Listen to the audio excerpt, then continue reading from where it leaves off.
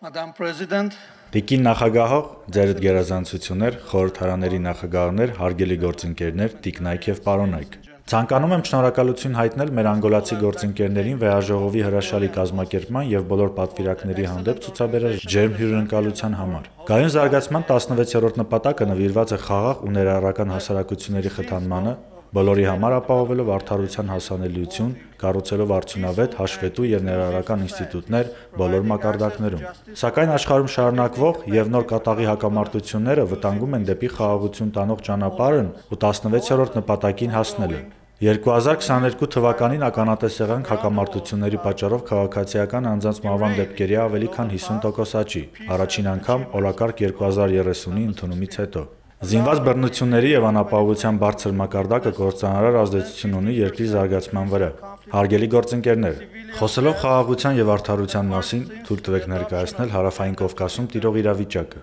Ցավոք սեպտեմբերի 19-ին Ադրբեջանը եւս մեկ լայնամասշտաբ ագրեսիա սկսեց Լեռնային Ղարաբաղի ժողովրդի դեմ, խախտելով միջազգային իրավունքն ու 2020 թվականի նոյեմբերի 9-ի երակողմ հայտարարությունը, որը ստորագրել էր։ Այդ ռազմական հարձակումը ցույց տվեց, որ նպատակը Լեռնային Ղարաբաղի հայերի էթնիկ զտումն ավարտին հասնելն էր, ինչպես նաեւ Հայաստանի Հանրապետությանը նոր պատերազմի մեջ ներքաշելը։ Ագրեսիայի հետևանքով հարյուրավոր մարդիկ զոհվեցին ու վիրավորվեցին, այդ թվում քաղաքացիական բնակչություն, կանայք եւ երեխաներ։ Ավելի քան 100 000 մարդ Լեռնային Ղարաբաղից բռնի տեղահանվեց Հայաստան։ Ցավալի է, անչափ ցավալի, որ չնայած բազմաթիվ ահազանգերին, Արդարադատության միջազգային դատարանի ընդունած որոշումներին, Եվրախորհրդարանի, ԵԽԽՎ-ի Առանձին երկրների բանաձևերին, գործադիր մարմինների, միջազգային հանրության կոչերին մենք բոլորս անկարող եղանք կանխելու Լեռնային Ղարաբաղի հայերի էթնիկ զտումները։ Հարձակումը հաջորդեց ավելի քան 9 ամիս տևած Լաչինի միջանցքի շրջափակմանը, որը Լեռնային Ղարաբաղը Հայաստանին ու մնացած աշխարհին կապող միակ ճանապարհն էր։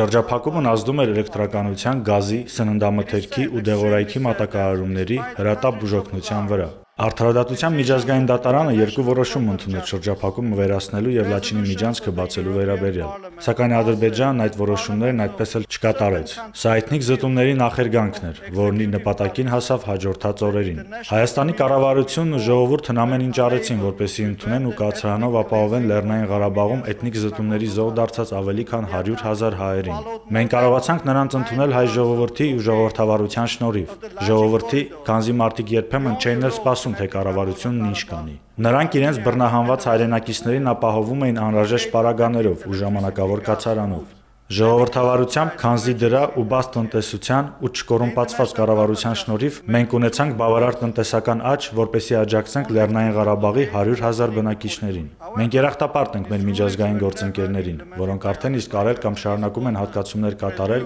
որոնք նպատակ ունեն հաղթարել Լեռնային Ղարաբաղի հայերի բռնի տեղահանության պատճառով առաջացած մարդասիրական ճգնաժամը։ Հայաստանի միջազգայինորեն ճանաչված ինքնիշխան տարածքի մոտ 150 քառակուսի կիլոմետր տարածքն դեռևս շարունակում է գրաված մնալ ադրբեջանական ագրեսիայի հետևանքով։ Հայաստանն իր հարևանների նկատմամբ տարածքային պահանջներ չունի։ Հայաստանը հավատարիմ է տարածաշրջանում խաղաղության օրակարգին։ Հայաստանի դիրքորոշումը պետությունների ինքնիշխանության ու տարածքային ամբողջականության փոխադարձ ճանաչման վրա հիմնված խաղաղ հարաբերությունների հաստատումն է։ Հայաստանն ու Ադրբեջանը պետք է մեկը մյուսի համար բացեն իրենց ճանապարհները, պետք է գործեն սահմանային եւ այլ համապատասխան վերահսկողական ծառայություններ, որոնք հիմնված կլինեն երկրների իրավազորության, ինքնիշխանության եւ օրենսդրության վրա։ Դա պետք է արվի փոխադարձության եւ հավասարության սկզբունքների հիման վրա։ Արևելքից արևմուտք, Կասպից ծովից միջև Միջերկրական ծով հյուսիսից միջև հարավ, Պարսից ծոցից միջև Սև ծով։